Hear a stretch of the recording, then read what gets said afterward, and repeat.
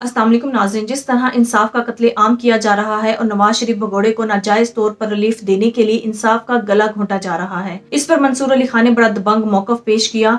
मंसूर अली खान ने जिस तरह चित्रोल की आइए पहले वो गुफ्तु सुनते हैं फिर इस पर बात करते हैं। मंसूर पब्लिक परसेप्शन कानूनी रिलीफ उनको मिले जो जो भी उनकी जमात की इसके ऊपर दलाइल हैं लेकिन पब्लिक परसेप्शन तब्दील हो सकेगा नून लीग के बारे में? देखिए मेरे ख्याल में मैं इसकी एग्ज़ाम्पल दो मुख्तलिफ़ तरीकों से आपको देता हूँ। एक तो मुझे नॉर्थ की साइड के ऊपर ना पाकिस्तान का जो नॉर्थ है उस साइड पे जाने का बहुत शौक है तो वहाँ पे अक्सर औकात सड़क पे लैंड स्लाइडिंग हो जाती है और सड़क पे और सड़क पे जब लैंड स्लाइडिंग होती है तो बड़े बड़े बोल्डर्स आके पत्थर जो है वो आके रस्ते को बंद कर देते हैं तो एक एक्सकेवेटर वहाँ पे आता है। बड़ी सी एक मशीन होती है क्रेन नुमा। वो आके बड़े बड़े बोल्डर्स को जो है ना, वो रस्ते से हटाती है। लेकिन जब सड़क बननी हो ना तो यही एक्सकेवेटर जो है बड़े बड़े पत्थर ला के रास्ता बंद भी कर देता है, सड़क को बंद भी कर देता है। पाकिस्तान के अंदर तमाम सियासी जमातों के लिए ज़रूरी यह है कि एक्सकेवेटर के ड्राइवर के साथ आपकी दोस्ती होनी चाहिए, ताल्लुकात होने चाहिए। वो चाहे तो एक्सकेवेटर के ज़रिए आपका रास्ता जो है, वो बंद भी कर सकता है, वो चाहे तो रास्ता आपका खोल भी सकता है। दूसरी बात यह कि पब्लिक प्रिसेप्शन की आपने बात की। मैं नहीं समझता कि पब्लिक प्रिसेप्शन में कोई फ़र्क पड़ेगा। मेरा ख्याल में 2018 से पहले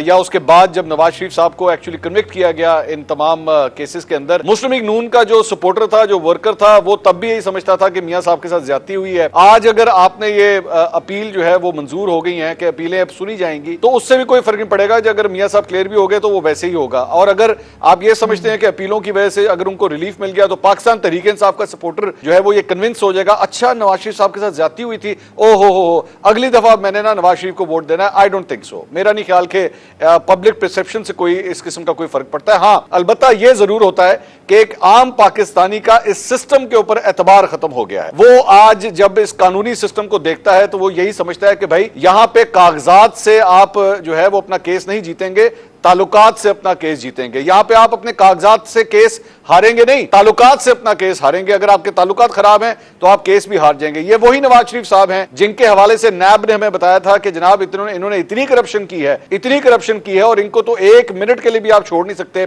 आज ये वही नैब है जो हमें बार बार वहाँ पे जज साहब पूछ रहे हैं कि जनाब, आपको इनकी गिरफ्तारी मतलूब नहीं है? वो कहते हैं, ना ना ना ना बिल्कुल नहीं मतलूब, आप बेफिक्र हमें बिल्कुल मतलूब नहीं है, कोई मसला ही नहीं है। तो ये एक ट्रेलर था, आगे चलने वाली अपील का, आप आगे चल के देखिएगा, ये भी क्लियर हो जाएगा। और फिर दूसरी बात ये कि आज जब परवेज लाही को पंद्रह दफ़ा गिरफ़्तार करके रिहा किया जाता है, फिर गिरफ़्तार किया जाता है तो आज से चंद सालों के बाद या महीनों के बाद जब मामला कुछ और तरफ़ होंगे तो हमें बता दिया जाएगा, नहीं नहीं, परवेज लाही साहब तो बिल्कुल क्लियर है, इन पंद्रह के पंद्रह केसेस में कोई इशू ही नहीं था इज़ ऑल क्लियर। तो एक आम आदमी का इस पूरे निज़ाम के ऊपर से एतबार हटता जा रहा है कि यहाँ पे जो केसेस होते हैं, वो फेसेस को देख के हो रहे हैं, फाइलों को देख के नहीं हो रहे। मंसूर, आइन का तो कोई ज़िक्र भी नहीं हो रहा, ना ही उस स्पीच में हुआ जो मियाँ साहब ने की है आकर। सियासतदानों को खुद भी कहीं ना कहीं ये सूट करता है कि इदारों की डोमेन वाजे ना हो, उनको उनकी डोमेन में भेजने के लिए कोई इकदाम ना किए जाए। जैसा कि नैब के हवाले से अब बात हो रही है कि अब उनको कोई मसला नहीं जो केसेस बने थे, उसमें बाहिर ऐसा नज़र आता है कि वो अब उस पर बैकफुट पे चले गए हैं।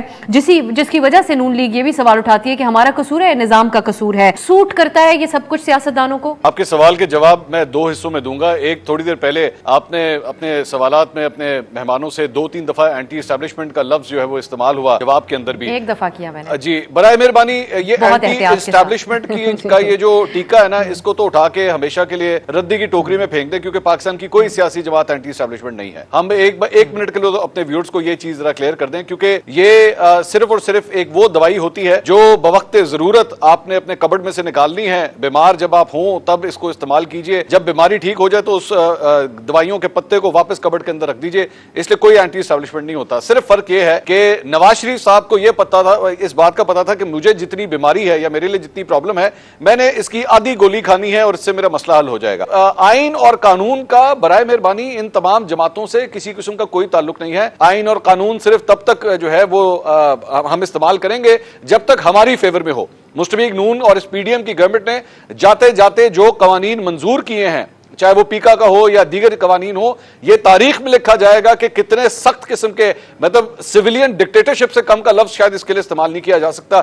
जिस किस्म के कवानीन वो इस्तेमाल कर चुके हैं बना के चले गए हैं। हम्म। सो इसलिए आइन कानून की बरए मेहरबानी रहने दीजिए। अपने जाती मफादात अपनी पॉलिटिक्स अपने सर्वाइवल सिर्फ़ उसकी गेम है। आप देखिएगा। आप मुझे बताइए पिछले डेढ़ साल में पाकिस्तान की सहाफत के साथ जो कुछ हुआ एंकरों के साथ जो कुछ हुआ जर्नलिस्ट के साथ जो कुछ हुआ ये वही नून लीग थी जो पीटीआई के दौर के अंदर हमें कहती थी कि जनाब मीडिया की आज़ादी फ्रीडम ऑफ़ स्पीच ये सब कुछ होना चाहिए। डेढ़ साल के अंदर जो मिसाल ये कायम करके गए हैं हमें तो जियाउलक का दौर याद आ गया जो कुछ इन्होंने किया। और आजकल भी जिस किस्म के खदशात का इजहार किया जा रहा है हमारी जो सहाफती बरदरी है उसकी तरफ़ से। मंसूर ये रिलीफ पीपल्स पार्टी के लिए ट्रांसफ़र हुआ वक्त के साथ साथ ये कहीं ना कहीं वो असूल की बात भी कर रहे हैं इस मौके पे पीपल्स पार्टी के एक नजरियाती जो सियासत है, उसके एतबार से। अच्छा देखिए, मैं जरा पाकिस्तान पीपल्स पार्टी के बारे में क्लियर कर दूँ कि ये जो पोजीशंस है ना पब्लिक पोजीशन है कि जी इलेक्शन जो हैं वो जल्दी होने चाहिए। मेरी इतलात के मुताबिक इससे पहले आपको याद होगा कि चीफ इलेक्शन कमिश्नर ने मुख्तलिफ़ सियासी जमातों के वफूद को बुलाया था और इलेक्शन के हवाले से डिस्कशन हुई थी। तमाम जमातों के ही वफूद गए थे वहाँ पर तो मेरी इतला के मुताबिक पाकिस्तान पीपल्स पार्टी जब वहाँ पर गई थी तो उन्होंने इलेक्शन की डेट अनाउंस करने के हवाले का ज़िक्र तक नहीं किया था चीफ इलेक्शन कमिश्नर से। उनसे बात तक नहीं की कि जनाब, अब आप डेट दे दीजिए डिले हो रहा है। कोई किसी किस्म की ऐसी कोई बात नहीं हुई थी। ये पब्लिक डोमेन की खातिर जो है वो ये पोजिशन जो है ज़रूर ली जा रही हैं इंप्रेशन देने के लिए कि जनाब हम इलेक्शन से नहीं भाग रहे। और अगर किसी के जेन में यह है कि जनाब पाकिस्तान पीपल्स पार्टी को अगेंस्ट द टाइड अपनी पॉलिटिक्स करने जा रही है आई डोंट थिंक सो मेरा ख्याल में इसका सिर्फ़ ये एक तासुर ज़रूर देना वो चाहते हैं कि जो पीडीएम का जो फॉल आउट आ रहा था, जो सोलह माह की हुकूमत का आ रहा था, उसका सारा जो मलबा है वो नून लीग के ऊपर गिरे जाके हमारे ऊपर कुछ ना है हमारी style of politics Noon league से बिल्कुल अलग है। हमारा तो इनसे कोई लेना देना नहीं है, जबकि वी ऑल नो के they're part and parcel of that whole alliance so मेरे ख्याल में ये सिर्फ़ और सिर्फ़ ये पब्लिक पोस्टरिंग इस वजह से हो रही है ताकि पीडीएम के साथ या नून लीग के साथ हमें अटैच ना किया जाए। हम उनसे बिल्कुल एक अलग एंटिटी हैं। लेकिन आप देखिएगा कि जैसे ही इलेक्शंस होंगे तो इलेक्शंस के बाद आपको अगर तो वही नंबर चाहिए हुए तो मुस्लिम लीग नून का और पाकिस्तान पीपल्स पार्टी का दोबारा वही अलायंस देखेंगे जो आपने माजी में देखा था। मंसूर, ये जो आँखों का तारा का ताज है, ये लेकर चलना इतना आसान काम नहीं है।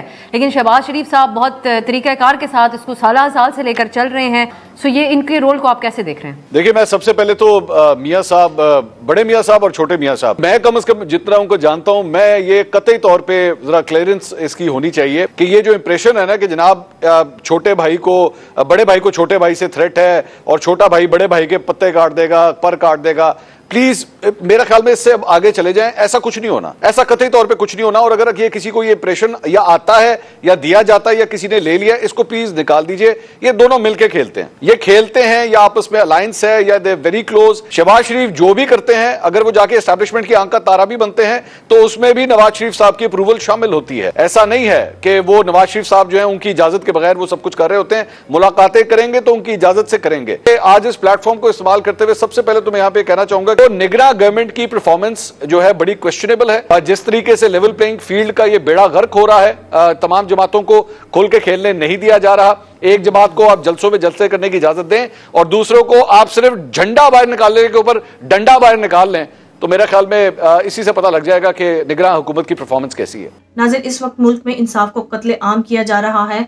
और कानून आइन की धज्जियाँ बिखेरी जा रही हैं और ये सब सिर्फ़ नवाज़ शरीफ भगोड़े को इस मुल्क पर मुसलत करने के लिए किया जा रहा है। ये भी नहीं देखा जा रहा कि पूरी दुनिया की नज़र पाकिस्तान की अदलिया और इंसाफ पर है, बल्कि कानून आइन की धज्जियाँ बिखेरी जा रही है और इंसाफ को थप्पड़ मारे जा रहे हैं। सारी दुनिया इस पर हमारे मुल्क का मज़ाक उड़ा रही है। इस वक्त एस्टेब्लिशमेंट बाकी सारे इदारे नवाज़ शरीफ भगोड़े की लोंडी और गुलाम बनकर इसके आगे खड़े हैं। जो भी हुक्म देता है वही किया जाता है। और इसी की वजह से अवाम के दिलों में इदारों के लिए नफरत मजीद बढ़ती जा रही है। अगर इनको ये लगता है कि इस तरह ये नवाज़ शरीफ की सहूलतकारी करके अवाम को इस बात की यकीन दहानी करा देंगे कि नवाज़ शरीफ फिर से सादिक और अमीन बन चुका है तो ये इनकी सबसे बड़ी गलत फहमी है। इनको लगता है की ये अवाम को इस बात पर कन्विंस कर लेंगे की नवाज़ शरीफ बेकसूर है। लेकिन अवाम अब इनके हाथों बेवकूफ़ नहीं बनेगी, इनका ये चूरन अब मजीद नहीं बिकेगा। बल्कि अवाम अब इनकी मजीद साजिशों और प्रोपेगंडा का हिस्सा नहीं बनेगी, क्योंकि अवाम इस बात को अच्छी तरह समझ रही है कि जिस तरह पिछले पचहत्तर सालों से ये मुल्क के साथ खिलवाड़ कर रहे हैं। नाजिन, आहिस्ता आहिस्ता इसके पीछे के सारी साजिशें और चेहरे बेनकाब होते जा रहे हैं। अगर इनको ये लगता है कि ये सब करने के बाद पीटीए का वोट बैंक ये खत्म कर पाएँगे तो ये इनकी सबसे बड़ी भूल है। नाजिन ये सब मिलकर अवाम को बेवकूफ़ समझते हैं, जबकि उल्टा अवाम इनको बेवकूफ़ समझती है। इनके पीछे इन पर हंसती और इनका मज़ाक उड़ाती है कि ये हमें बेवकूफ़ समझते हैं। अवाम को बहुत सी बातों का इदराक हो चुका है। नाजिन आपकी इस बारे में क्या राय है? कॉमेंट में ज़रूर बताइएगा। अगली वीडियो में मिलते हैं। तब तक के लिए अल्लाह हाफिज़।